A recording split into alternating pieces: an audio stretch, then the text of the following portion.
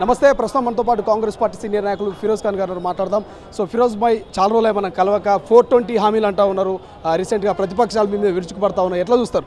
అరే లాస్ట్ టైమే చెప్పినా కదా తమ్ముడు. టూ మంత్స్ కూడా కాలేదు. హండ్రెడ్ డేస్ ఇవ్వాలి అన్నా కదా? హండ్రెడ్ డేస్ తర్వాత మాట్లాడు. ఏమి ఇస్తున్నాం ఏమి ఇస్తలేం? మొత్తం ఫామ్లు ఇచ్చినాం. వెరిఫికేషన్ చేయాలి చేయవద్దు. లేకుంటే దొంగలంగా కీయాలి. బీఆర్ఎస్ పాలనలో ఏమైంది? ఎవరు మినిస్టర్ దగ్గర ఉన్నారు ఎవరు ఎమ్మెల్యే దగ్గర ఉన్నారు ఎవరు ఎంపీ దగ్గర ఉన్నారు ఎవరు ముఖ్యమంత్రి ఇంట్లో ఉన్నారు ఎవరు ముఖ్యమంత్రి చుట్టాలు వాళ్ళందరికీ లంగా ఫెలోస్కి స్కీమ్లు బెనిఫిషరీ స్కీమ్లు వచ్చినాయి. ఇక్కడ కాంగ్రెస్లో కూడా అదే తప్పు చేయాలి.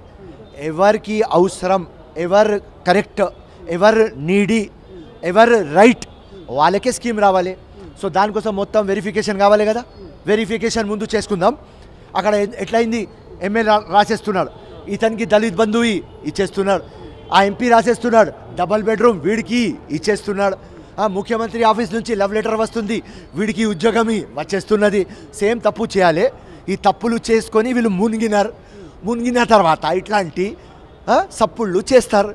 మాకు ఏం కాదు. ప్రజలు మాకు ఇచ్చిన power. Ever needy ever right. Poorest of పువర్కి స్కీమ్లు రావాలి. ఎవర్ జెన్విన్ వాళ్ళకు స్కీమ్లు రావాలి. వంద రోజులు. ఆగు. దాని తర్వాత లొల్లి పంచాయతీ ఎవరు చేస్తున్నారు? కేటీఆర్ చేస్తున్నాడు హరీష్ రావు చేస్తున్నాడు ఇద్దరికి చెప్తున్నా. హండ్రెడ్ డేస్ తర్వాత లొల్లి పంచాయతీ చేయి. నేను నీ ముందు ఉంటా. మాట్లాడదాం. కానీ పులి బయటకు వస్తుంది తట్టుకునే శక్తి కాంగ్రెస్ పార్టీకి ఉందంటే ఏం చెప్తారు? ఆ పులికి వయస్సు ఇవ్వాలి మా ఎక్స్ ముఖ్యమంత్రి వెరీ గుడ్ ఇప్పుడు బంగారు తెలంగాణ పులి చేయలేదు. ఇది మా రేవంత్ రెడ్డి పెద్ద పులి చేస్తాడు. ఈ పులి చూసుకోవాలి. ఇంట్లో కూర్చొని ఫామ్ హౌస్లో కూర్చొని టీవీలో అబా బాబా బాబా బా నేను చేయలేని పని రేవంత్ రెడ్డి చేస్తున్నాడని రైట్? నవ్వాలే ఏడవాలే అది మేము చూడాలి చూడాలి. దానికోసం ఆ పులికి ఆరోగ్యంతో ఉండాలి అని నేను కూడా ప్రే చేస్తున్నా. ఏం చెప్తారు? ఎంపీ ఎన్నికలకు ఇప్పటికే కలవకుట్ల కుటుంబం పోటీ చేయడానికి సిద్ధంగా ఉంది అంటున్నారు వాళ్ళు ఎంపీలుగా పోటీ చేస్తే కాంగ్రెస్ పార్టీ తట్టుకుంటుందా? బీఆర్ఎస్కి రెండు ఎంపీ వస్తాయి. రెండు కేటీఆర్ రాని కవిత రాని సంతోష్ రాని హరీష్ రాని ఎవరైనా రాని రెండు వస్తాయి. హమ్ దో హమారే దో. అంతే స్టోరీ ఇంకా ఏం స్టోరీ లేదు. ఏం చెప్తారు? మీ మీ మీ అధ్యక్షుడు రాహుల్ గాంధీ పైన దాడి జరిగింది న్యాయవాత్రుల భాగంగా ఏం చెప్తారు? దాడిని ఎట్లా చూస్తారు? రాంగ్ డిక్టేటర్షిప్ హంగామా? డిక్టేటర్షిప్ డెమోక్రసీ లేదు అని చూపిస్తున్నాం. ఇప్పుడు ఏం చేస్తారు? ED income tax election commission CBI అది పక్క పెట్టేసి ఇప్పుడు మందిర్ పోవాలి అంటే కూడా ఈ లంగా ఫెలోస్కి అడగాలి మేము? రామ్ మీద ఆస్థ అందరికీ ఉన్నది?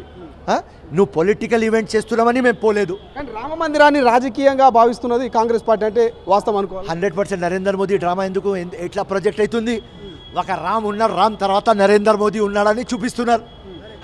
ఈ డ్రామా వద్దు కదా రామ్ అందరికీ? నేను ముస్లిం ఉన్న తర్వాత కూడా నాకు రెస్పెక్ట్ ఉన్నది రామ్ మీద. సో ఒక హిందూకు ఎంత ఉంటుంది? హిందూకి వాళ్ళు ఆస్థ? మర్యాద పురుష్ రామ్. సో రామ్ అంటే ఇండియా. ఎవరు నో అంటున్నారు? కానీ నువ్వు లంగా డ్రామా చేస్తే మా మేమెందుకు రా భయ్? ఎందుకు ఈ డ్రామా ఓట్ల కోసం అంటారా బీజేపీది? నెక్స్ట్ ఎలక్షన్ ఎలక్షన్లో డ్రామా కావాలి కదా. ప్రతి ఒక్కసారి డ్రామా చేసినారు. ఏదే ఏది ఏదైనా ఇండియాకి డెవలప్ చేసినారు. ఉద్యోగాలు ఇచ్చినారు. ప్రైస్ హైక్ మీద కంట్రోల్ వచ్చింది. కరప్షన్ మీద వచ్చింది. డెవలప్మెంట్ ఎక్కడైంది? ఏం రాలేదు. ఉట్టి divide and rule divide and rule అంతే స్టోరీ ఆ లంగా ఆసద్ తిరగాలి వీళ్ళు మందిర్ వెనుక తిరగాలి ఓట్లు డివైడ్ చేయాలి డ్రామా చేయాలి ఇట్లా అట్లా అని. సేమ్ డ్రామాలో ఇది. ఇప్పుడు అందరికీ తెలిసింది ఇది ఓపెన్ సీక్రెట్. నేను చెప్పేది ఏం రా భయ్? అందరు ప్రజలు అంటున్నారు డెవలప్మెంట్ ఇష్యూదే మాట్లాడరు. అదాని గురించి మాట్లాడరు. రాహుల్ గాంధీ మీద డూప్లికేట్ కేసులు. దాని తర్వాత కన్విక్షన్ పార్లమెంట్ నుంచి తీసేయాలి. ఇంట్లో నుంచి తీసేయాలి. రైట్? ఈ మొత్తం డ్రామా చేస్తున్నారు కదా రాబాయ్. పబ్లిక్ చూస్తున్నది. ఇప్పుడు రాహుల్ గాంధీ భారత్ యాత్ర ఎందుకు చేస్తున్నారు? ప్రజల వాయిస్ అయినాడని. న్యాయయాత్ర ఎందుకు చేస్తున్నాడు ఎందుకంటే పోయి అడగాలి. న్యాయం దొరికింది. నీకు ఏం కావాలి అది దొరికింది. లేకుంటే ఉట్టి బట్టెబాజ్ మాటలు ఉన్నాయి. అది చేస్తున్నాడు సో గ్రాఫ్ పెరుగుతున్నది. ఆపాలే. ఆ ఉన్నారు కదా? హేమంత్ బిస్వా. వాడు నరేంద్ర మోదీ కళ్ళల్లో పడాలి. అందరు మొత్తం ఇండియాలో మొత్తం స్ట్రాంగెస్ట్ ముఖ్యమంత్రి నేనని. సో ఆ ముఖ్యమంత్రికి చెప్తున్నా. నీలాగా వేయి ముఖ్యమంత్రి కూడా ఎంటిగా కూడా మా రాహుల్ గాంధీ తిప్పికలేరు రైట్? సో